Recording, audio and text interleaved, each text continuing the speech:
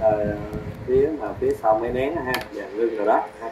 Các cái bình lưng tụ qua hoặc là gì nữa ở ờ, lĩnh vực lò hơi ha, thì chúng ta có ờ, rất là nhiều ha, hoặc là lĩnh vực uh, cái pin nhà máy nhiệt điện cũng vậy đặc biệt là trong cái uh, cái cái nhà máy nhiệt điện của pin hơi mà chúng ta học rồi ha, thì nó rất cao ha rồi ờ, bên ờ, bên uh, khí cũng vậy ha các cái đường ống dẫn khí hay các cái ờ, bình chứa khí qua thì như vậy thì khi đó tất cả nó đều phải à, được uh, kiểm định ha, và tất cả nó đều tuân thủ theo một cái quy định chung ha, chứ còn không ai mà làm trái những quy định đó cả ha, thì uh, cái phần trình bày của anh Minh với Hải nói chung là cũng mang tính chất khái quát hết rồi đó ha. trong cái tài liệu mà hôm trước mình đã gửi cho anh Vũ nhà anh Vũ xe trong lớp và là trong đó có cái quy chuẩn 01 ờ, 2008 à, thì cái đó ờ, là nó bao hàm tất cả các cái nội dung liên quan đến cái ờ, kiến thức về ờ, an toàn thiết bị áp lực. À, Thực ra là ví dụ như trong cái ngành nghề của mình mà đôi khi chúng ta cần xem lại gì đó thì chúng ta đặt lại các quy chuẩn. Chứ còn tất cả đều phải tuân theo quy chuẩn chung chứ không ai làm riêng hay không ai làm khác. Ví dụ như nãy mình nói là gì?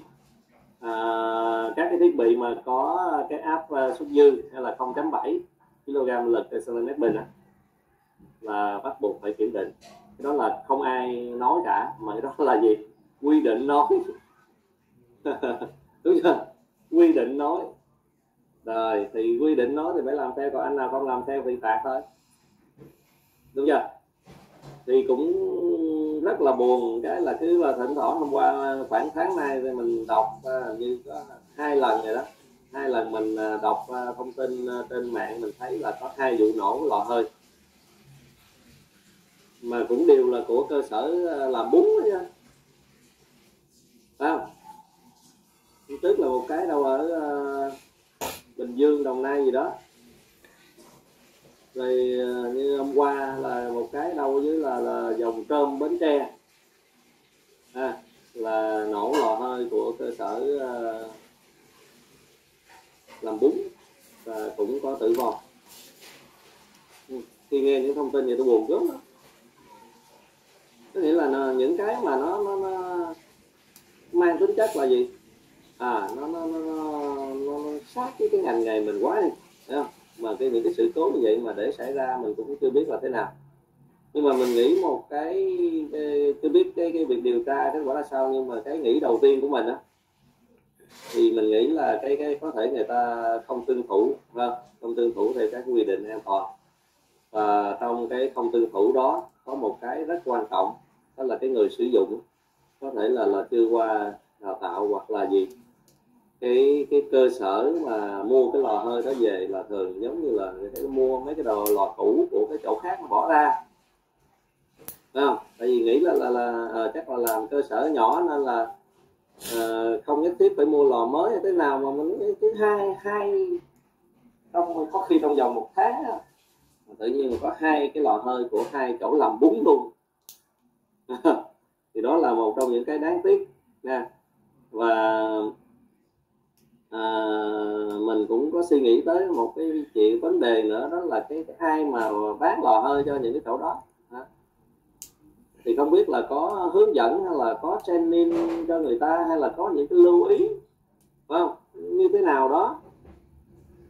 Để cho người ta biết cách sử dụng hoặc là biết cách như thế nào an toàn thế nào. Chứ còn mà mà ví dụ như mà bán cái lò hơi xong rồi là mà, mà mình còn có một cái trách nhiệm trong đó nữa đúng không? À, mà không hiểu tại sao mà dẫn đến mà nổ mà chết người. Chết người ờ, cả hai lần nổ đều có chết người.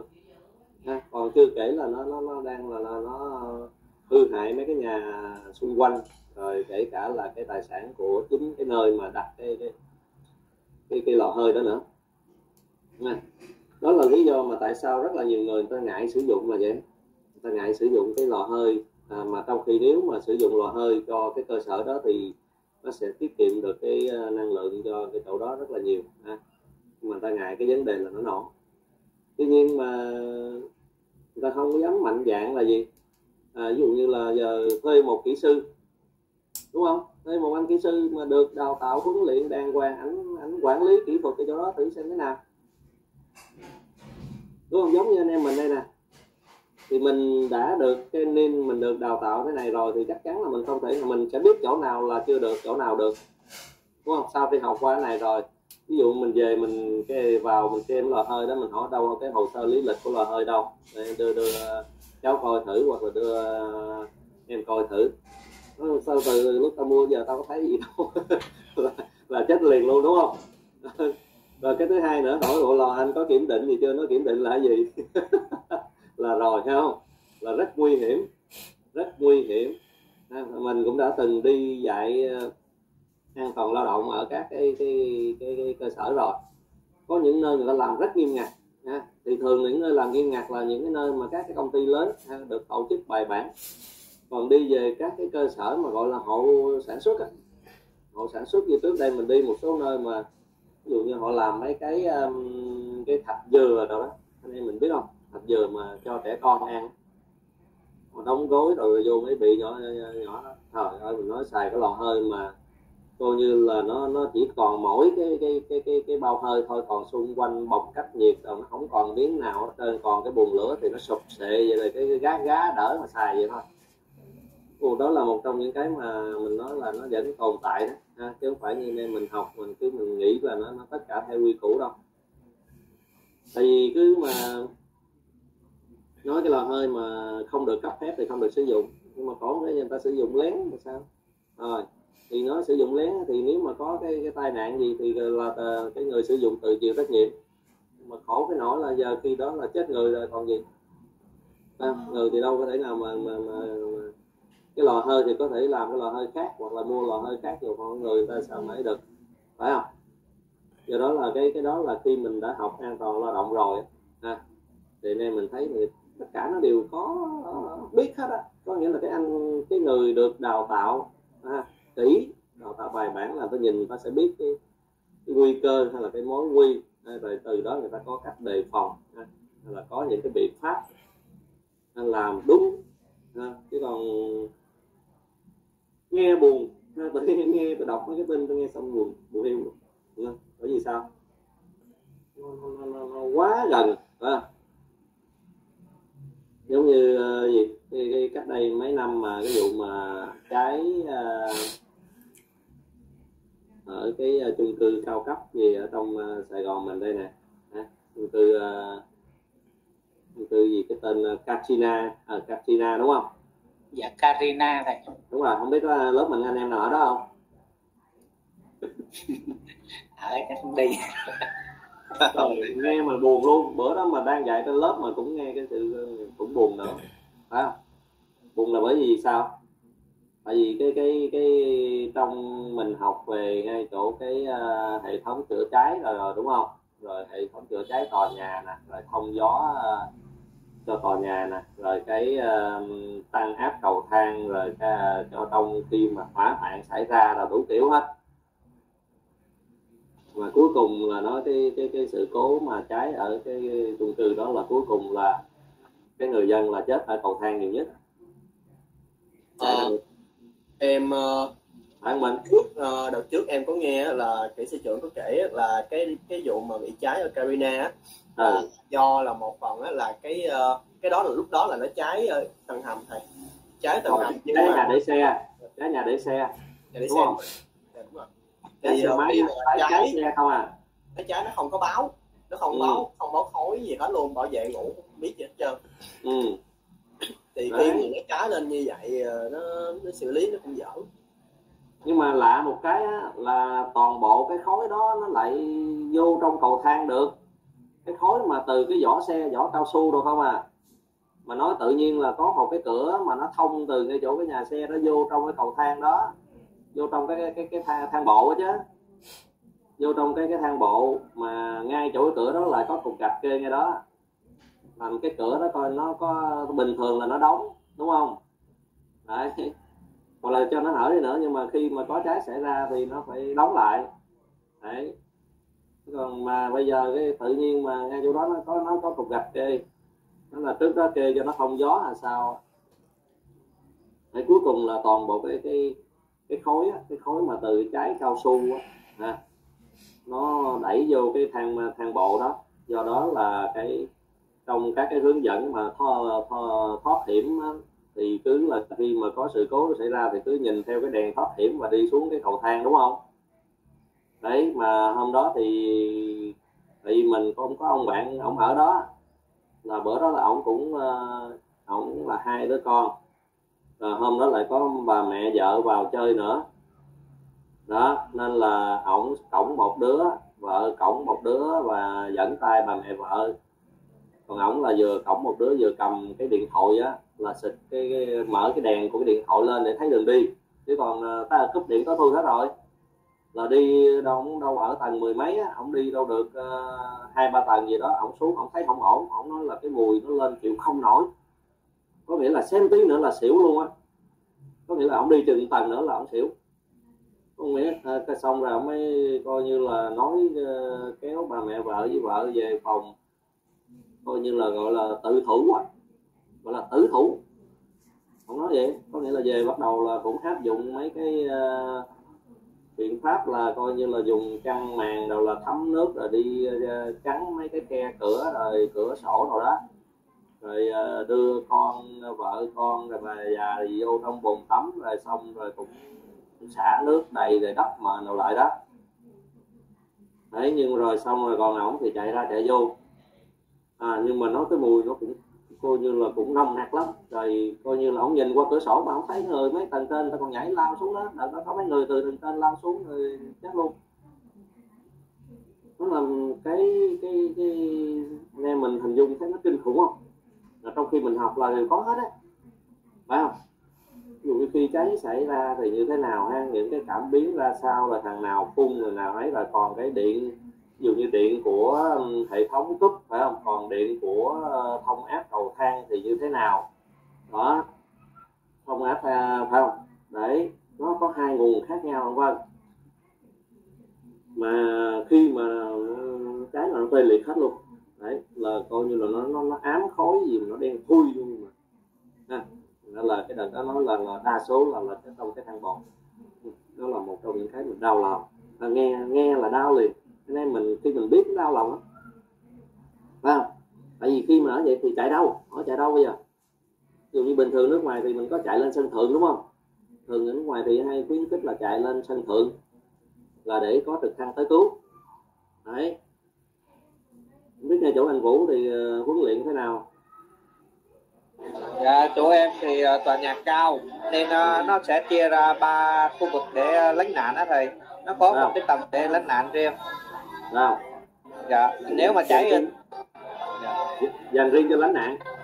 Dạ nó có một tầng nguyên một tầng đó là để uh, khu lánh nạn. Khi có cháy hay hỏa hoạn là sẽ tập đến tập kết tại đó rồi sẽ có thang uh, chữa cháy chuyên dụng á là là sẽ vận chuyển người đó xuống mặt đất hoặc rồi uh, dạ có tại đó thì dạng ống hả? Dạng ống chui vô cái ống xuống hả?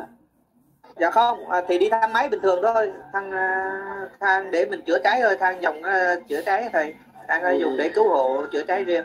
Ừ, ừ, ừ, ừ. ừ. dạ. À, sẽ chia ra các nhiệm tầng để lánh nạn khi có sự cố. Với lại hàng tháng cũng định kỳ là test có cháy tòa nhà một lần rồi à, hàng quý là sẽ có diễn tập phòng cháy chữa cháy tòa nhà. Rồi nếu như nói chung là phải vậy còn chưa thấy gì á. Cái cái cái lúc nào cũng vậy ha. Cái cái cái tính mạng của, của mình cứ làm gì làm biết nhưng mà cứ nghĩ đến cái tính mạng của cái người mà tại cái khu vực đó ha. Thì từ đó mình mới có cái cái tính cẩn thận trong đó rồi thì như vậy thì đến cái phần an toàn thiết bị áp lực ha. Như vậy thì anh em có góp ý à, hay là trao đổi thêm về cái phần trình bày của anh Minh với anh Hải không? Rồi xin mời anh Thường.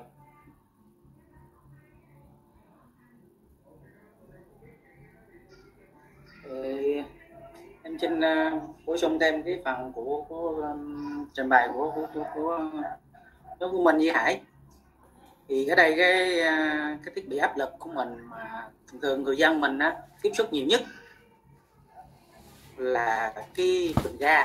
Nếu cái bình ga bếp á thường thường mình hay sử dụng mà nếu mà hồi, hồi nãy mà, mà, mà, mà mình với Hải đi sâu vào cái vấn đề này thì nó nó nó rất là hay. Hoặc là có một cái, cái video nào nó như nó nói nữa. Tại vì cái bình ga bếp á là dường như nhà nào cũng xài.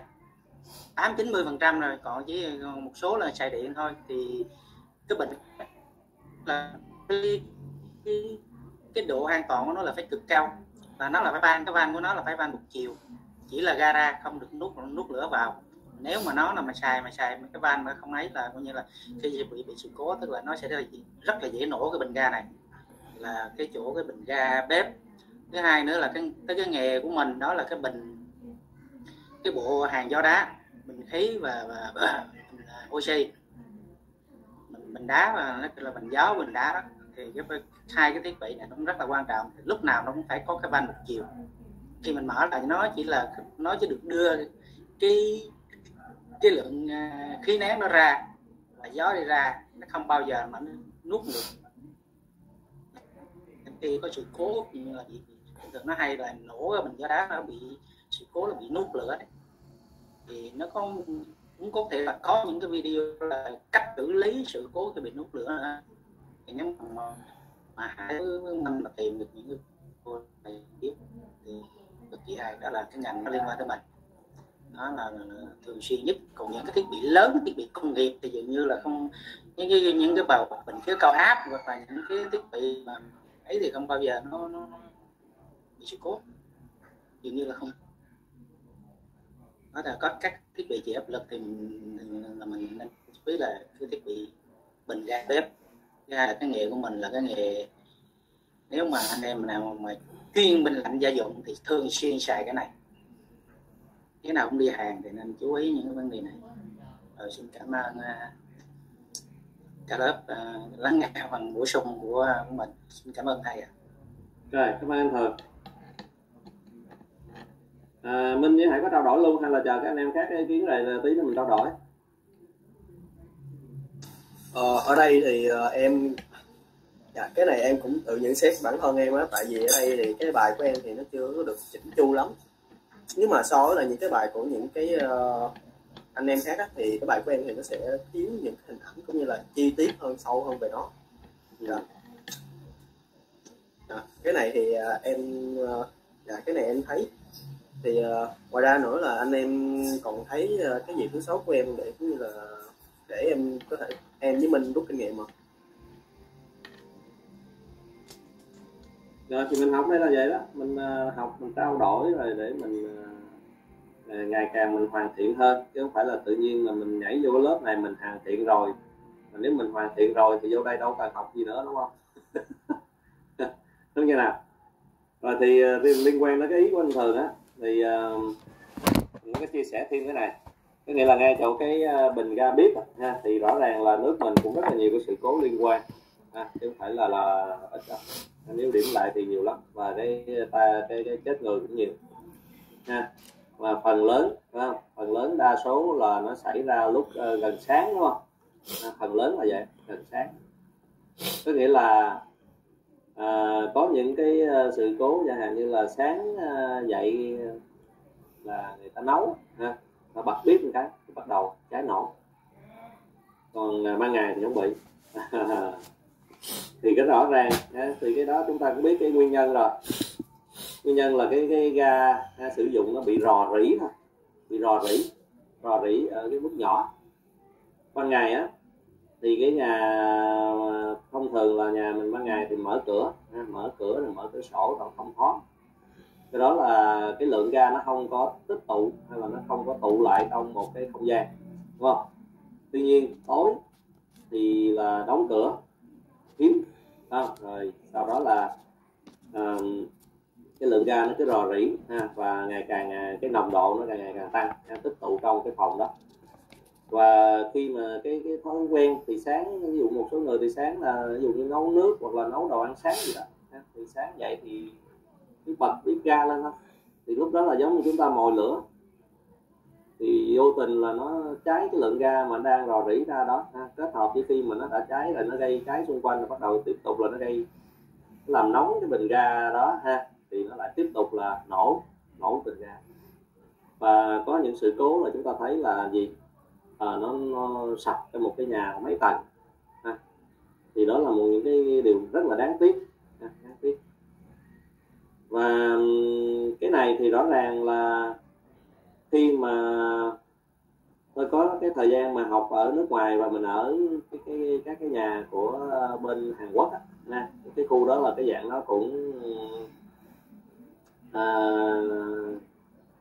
nhà mà nó xây thì nói chung cũng có cái quy hoạch đầu cụ thể rồi ha cũng nó, nó, nó, nói chung là nó nằm ờ, đúng bài bản thì hoặc là dọc theo các cái tuyến phố của nó thì rõ ràng mình thấy là đa số là người ta xài cái, cái ga mà dạng ga tập trung ha.